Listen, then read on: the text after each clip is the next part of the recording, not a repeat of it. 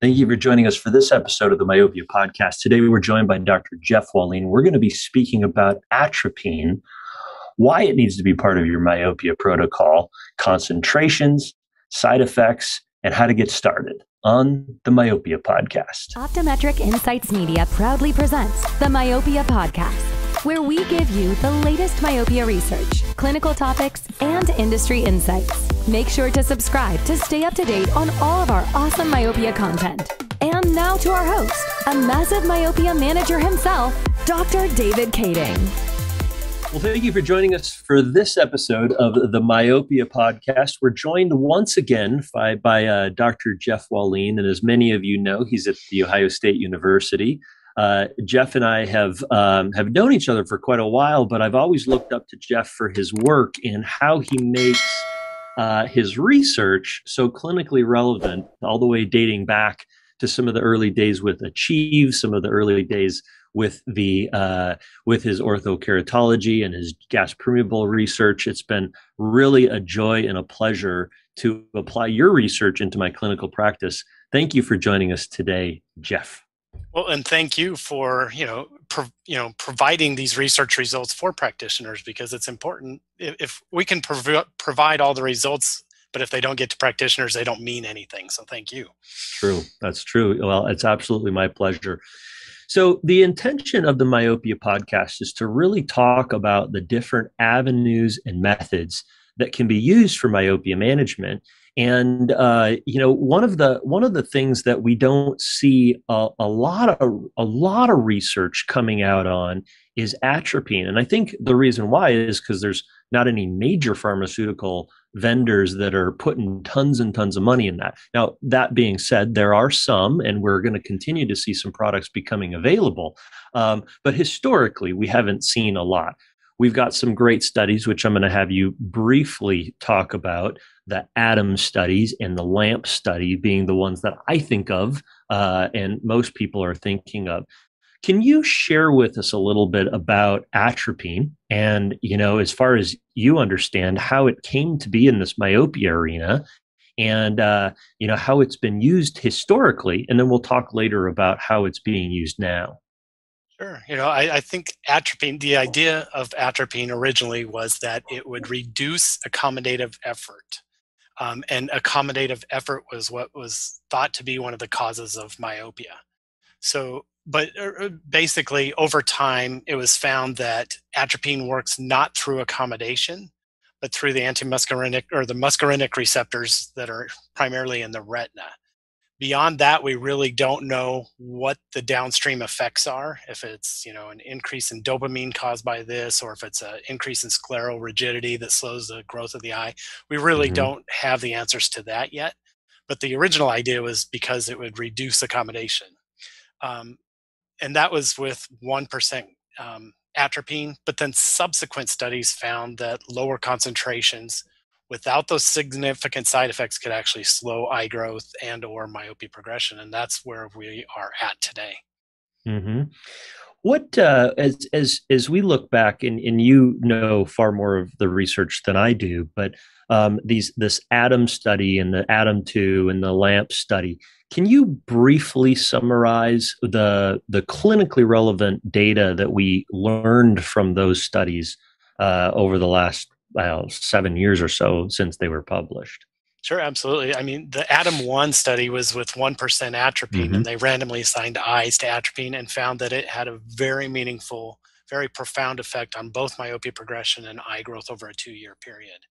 Yeah. Um, they subsequently wanted to find out what's the lowest concentration that they could use and still get meaningful slowing of eye growth and, and myopia progression. So they compared half percent to 0.1% and then their control group actually was 0.01% because you know at that time we all believed that 0.01% would never have a high enough concentration to have a meaningful effect. But when they basically compared those results with the 0.01% atropine as the control group to the placebo control group in that 1% atropine study the atom 1 study they found that it slowed myopia progression by about 60% um, and so that was you know one idea that hey these lower concentrations can work. So it was from that that the lamp study ultimately happened by a different group where they wanted to mm-hmm. find out what's the best low concentration atropine that works. So they compared 0.01% to 0.025 to 0.05 and they found a dose response basically that 0.05 worked best um, and it did so without additional side effects. So I think they studied it in a really creative and clinically meaningful way. They told these kids on these various atropine uh, concentrations of atropine, they said, if you have problems with bright lights, let us know. Because originally they just gave them single vision clear lenses. If the kids complained of bright lights, they gave them photochromic lenses. They also told them if you experience near blur, tell us. We'll give you progressive addition lenses. What they found was that 30% of the kids on 0.05% atropine complained of, of, of bright lights, so they gave them photochromic lenses, which sounds significant, but 40% of the control group wanted photochromic lenses. So that ultimately tells us that kids are photophobic in general, but atropine doesn't make them more photophobic. Mm-hmm. And then almost none of the kids said they had blurry vision at near. So ultimately what that tells us is 0.05% atropine provides meaningful slowing of myopia progression and it, per, it, does it without additional side effects. But the important point to take away is that 0.01% atropine slows myopia progression without slowing eye growth. 0.05% atropine slows myopia progression and it does a better job of slowing eye growth. So yeah my recommendation is to use 0.05% atropine if using it for myopia control. Right. So, you know, you may see a prescription uh, progression reduction, so to mm-hmm. speak, with the 0.01%. But uh, the concern with myopia management is eyeball elongation. And so, really, what we're trying to do is not just stop a prescription, because we can always give somebody a higher prescription, we're trying to stop the eye progression leading to disease, which is presumed to be because of this eyeball elongation. Exactly. Did I summarize that correctly? Absolutely. Yeah.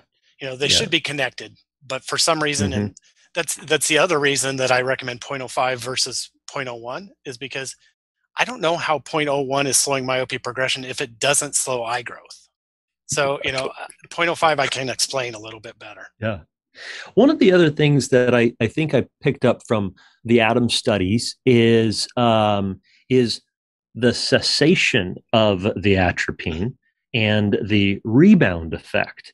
Can you talk a little bit about how that can become clinically relevant for us? Absolutely. So if you give kids treatment for two years and then you take them off treatment, if they're on the high concentration atropine, 1% atropine, they will quickly become more myopic.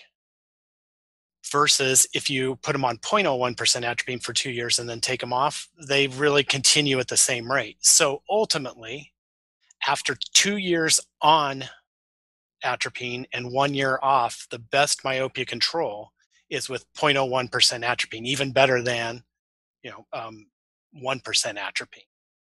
Mm-hmm. And the reason that you know 1% atropine probably has this rebound effect is it works significantly by reducing accommodative, you know, the, the ciliary tonus. And so when you do that, you actually reduce re- myopic refractive error because you're um, making the lens less powerful. And you also um, get shorter axial length. And you can see that in those studies with the high concentrations of atropine, you actually get eye shortening and lower refractive error over just a one month period. Whereas you don't get that with 0.01, and that tells us it's unlikely to rebound like 1% atropine does. Mm-hmm. So, yeah, that's yet another reason to suggest people use low concentration atropine. And we don't, we haven't seen the total results from the LAMP study because they actually switched all their control group to uh, 0.05% atropine, I believe. And so we won't see, you know, that compared to placebo, but it, it right. unlikely to get rebound effect. Now there's this there's th- this other aspect of this that I have heard people talk about, and that is, well, of course they rebounded, uh, you should never take a person off atropine suddenly. Um, is the school of thought that you subscribe to that uh, just like we would never take somebody off of steroids uh, quickly, that atropine shouldn't be removed quickly either, particularly at a higher concentration? And is that the reason why the rebound happened? If you had done a 1% over a three month period and, and, and tapered it down, would would we have seen the same effect? I don't know that we fully know that, but what what are your thoughts? My personal thoughts are there's absolutely no reason to believe that tapering does anything. Um, and the reason I say that is the reason you get the rebound effect with 1% atropine is because you're reducing ciliary tonus when you first, impl- first implement the treatment. Um, you don't lose that with lower concentrations.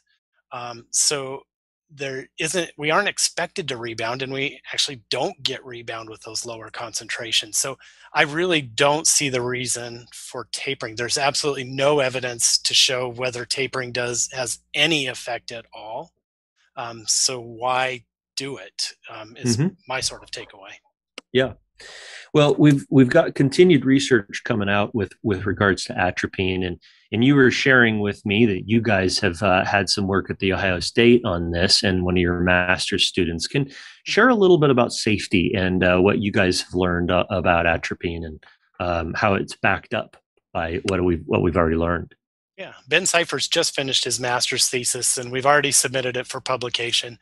But he looked at just over a one week period of giving 0.01% uh, atropine to optometry students what's the effects on accommodation on you know reading speed on intraocular pressure? And basically he found no significant differences and certainly no clinically meaningful differences from before giving him these atropine eye drops to after where he did see one statistically significant but maybe not clinically meaningful difference was intraocular pressure increased by a, a, millimeter and a half of mercury in the right eye and about three quarters of a millimeter of mercury in the left. So I'd say, you know, about one millimeter of mercury. Right. Um, it may be because you, you get more of a mid-dilated pupil. Could be, you know, rest, restricting a little bit the, the outflow that you get from through the trabecular meshwork. Um, mm-hmm. But you have to decide if that's really important for you. I've been traditionally recommending that people measure IOP on follow up. I'm not even certain that that's really necessary um, because it's yeah. really not that much of an increase. Um, yeah. But otherwise, he found you know no meaningful um, changes with atropine. But one of the cool things he did was he actually um, had people judge how comfortable the drop was when it was in, instilled. Hmm. So, um, and he compared it with artificial tears and uh, proparacaine. And what he found was that immediately, right after you put in the eye drops, of course, artificial tears is the most comfortable, and proparacaine is the least comfortable, and atropine's right in between there. Um, after five seconds, it turns out that there was um, no significant difference between proparacaine and atropine, but artificial tears was more comfortable than the other two. And then at the end of 10 seconds, he found that atropine actually was the least comfortable, followed by proparacaine, followed by artificial tears. But the the average was three out of ten in terms of where one is um, no discomfort and ten is extremely uncomfortable. Mm. So I think mm-hmm. the, for clinicians, the important takeaway message is this doesn't hurt worse than proparacaine um, when you first put it in the eye, and um, it's really not an uncomfortable drop for most people. There was one person who rated it as seven, both before and after taking drops for a week. Um, you know, we don't know if that's a dramatic person, you know, just same amount of pain, but they yeah. rate it worse, or if it's because you know maybe they had an allergy to the to the right. preservatives, yeah. or maybe their p their the pH of their eye is different and so is affected more. Um, we want to look into that more. But the the other thing that he found out was that the pain continued to increase through 10 seconds and we don't we didn't measure it beyond 10 seconds so we don't know. So we're yeah. going to look at that in the future. Yeah. So just for for for listeners you know atropine can be uh, obtained through uh, a, a, local compounding pharmacy. Mm-hmm. I think that's where a lot of clinicians are getting it. You can uh, just r- call up to a, a, pharmacy and say, "Hey, or, you know, look for compounding pharmacies in your area," and reach out to them and say, "Could you make this for me?" And then designate the uh, the the the concentration that you want and then have the patient go and reach out to them. Or with our local pharmacy, that's how we've done it and have had a good relationship with them there are some products that are available, and I, I, I don't know if you want to speak to them that are coming available. Um, that uh, that you can get the prescriptions made up and sent to the patient from a kind of a universal pharmacy that can send it around the country. So just be on the lookout for those in the trade journals. They're already available and coming available as well in the near future. And I know that eye drops are going to be a major part of myopia management in the future. Jeff, can you share with us uh, about other eye drops that we may be thinking of in the future, or is there being is there research being done right now by some of the pharmaceuticals that you're aware of uh, that are going to be we should be keeping our eye out for? The only one that I really know of is 7-methylxanthine, um, which is yep. a caffeine derivative. Um, mm-hmm.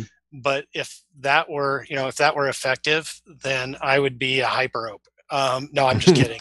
Um, uh, I, I, don't know from the studies that I've seen. I'm not sure about the eff- effectivity of that ultimately, but it, it remains to be seen. Um, that's the only one, honestly, that I really know about. Um, yeah. So I'm not privy to some of the others. And, and, I think that's a good drop for parents to give their children right before they go to bed at night. Uh, exactly. it's going to be a good way to go. right. Absolutely. Well, hey, I wanted to pick your brain about another topic, and that relates to axial length and uh, versus um, versus uh, a refraction, cycloplegic, uh, autorefraction, or whatnot to measure myopia management. And I loved the uh, the breakout. Actually, it wasn't a breakout; it was a major. It was a full session at GSLS. I think it was two years ago where you played the devil's advocate and you did a phenomenal job uh, playing the devil's advocate, arguing every side of the issue up and down, calling people bozos for the way they were thinking about any one thing. It was extremely entertaining and very enlightening. But one of the arguments that I hear quite frequently by uh, by people in the myopia management space is you must have something to measure axial length if you're going to do myopia management uh, otherwise, you don't know if they're progressing. And, um, you know, I think you and I have similar perspectives on this. Axial length is an incredible tool to add to your toolbox. Uh, but does that mean you must have an OCT if you're going to measure glaucoma? Well, you must have uh, a topographer if you're going to fit a scleral contact lens you know is this one of those things where it's it's a have to or is it a luxury item in your mind? Uh, honestly in my mind it's a luxury item. I think you can get some additional information on occasional patients um, but I, it, I would never let the lack of a biometer keep me from doing myopia control. I just don't yeah. think it's necessary. Um, you know you can even if you're doing orthokeratology you can still sort of monitor myopia progression by looking at the changes you make in the base curve of the contact lens. Um, and and knowing that when you flatten the base curve you're making a, a change in terms of the patient's myopia. So you know even with orthokeratology i think you can still monitor myopia progression without measuring axial length. But it like like you said it can provide additional information by which you can make decisions. So, you know, if you're doing a lot of myopia control, you might consider, um, yeah. you know, uh, getting a, a, biometer of some sort that will help measure and provide you with additional information. But, but absolutely, you can do myopia control without a biometer. Don't let that hold you back. Right. Speak to us a little bit about uh, clinically relevant refractive data um, is your perspective that we need to put uh, i'm being facetious here a drop of atropine and wait a week and check the refraction or is it something where we can use cyclopentolate or tropicamide or uh, autorefractor or can we just do manifest refractions on kids and say that that's it. Say a kid is doing atropine or is doing, uh, you know, uh, soft multifocals, taking ortho K out of this. Um, what what are your kind of thoughts, you know, clinically um, as opposed to research? Yeah, um, like yeah, like you said, for research, I think it needs to be cycloplegic autorefraction, 100%. But for clinical reasons, you know, I think we can follow our myopes with non-cycloplegic manifest refraction. It's something that we need to perform to get you know our the best idea of what we want to prescribe for a particular child so it's something we mm-hmm. measure routinely and with these young myopes they're it's rare when they would be you know a pseudomyope or an you know that have some sort of accommodative spasm or something like that and there are lots of other signs that you can follow to rule those things out. Um, so i really think that the young myopes i think first time you examine any child they have to be cyclopleged if they are my if they become myopic you need to cycloplege them after that you can follow it without necessarily doing cycloplegic refractions you of course need to dilate the eyes to make sure they're healthy but i don't think cycloplegic refractions for myopic children are that necessary afterwards mm-hmm. i agree with you you know we um, you may or may not know this, but my wife is a, a, binocular vision specialist, and we have a vision therapy clinic in the practice. And uh, my associate was doing a lot of myopia management in vision therapy. And I was quite upset with her. I'm like, why are we not doing, you know, myopia management on these children? And she said, we are. Uh, they have got accommodative problems that are leading towards. And I said, this, I don't understand.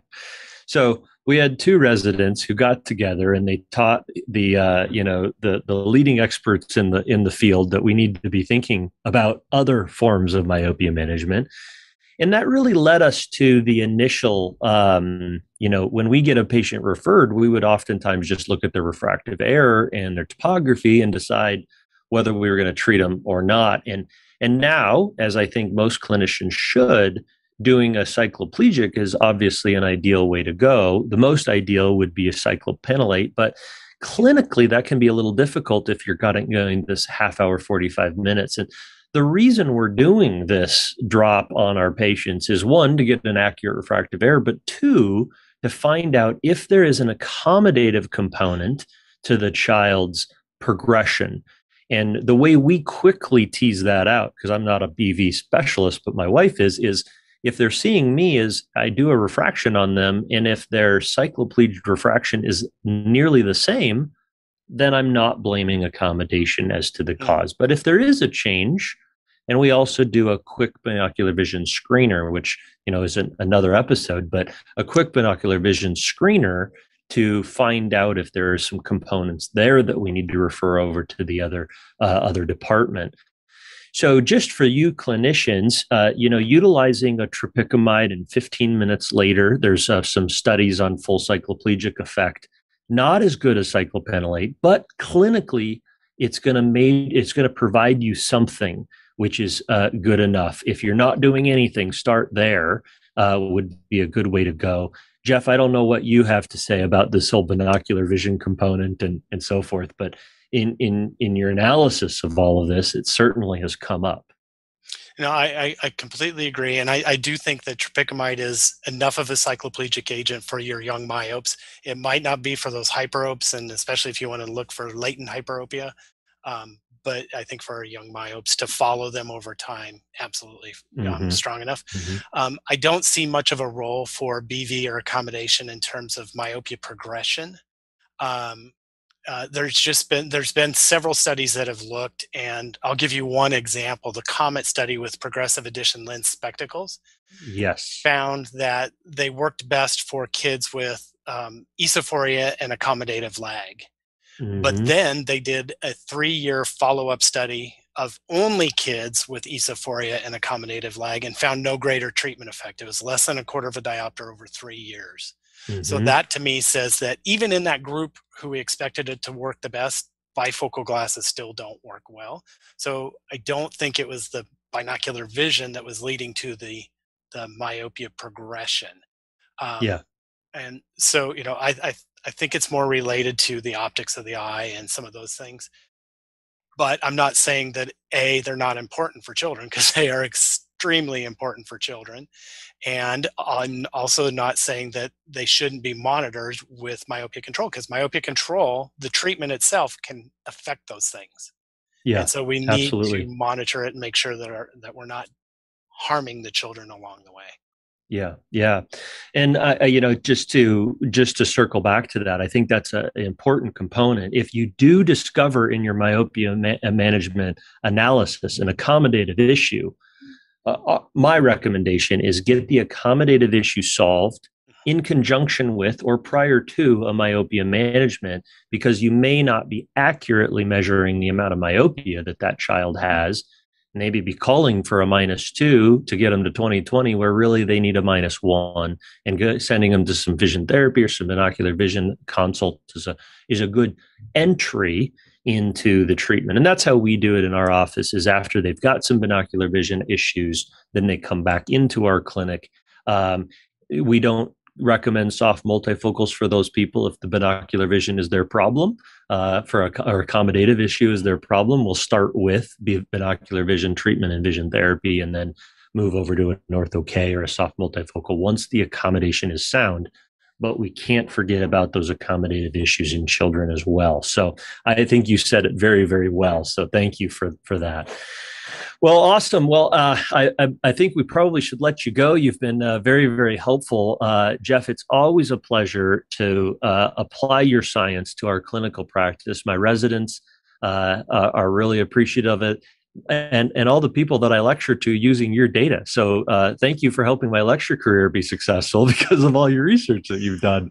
Well, That's thanks for awesome. translating it for the practitioners. I do appreciate that as well. Yeah, absolutely. Well, hey, thanks again for joining us for this episode of the Myopia Podcast. We hope to hear from you, and uh, you can leave comments in the section below. And Jeff, again, thank you for joining us today. Thank you.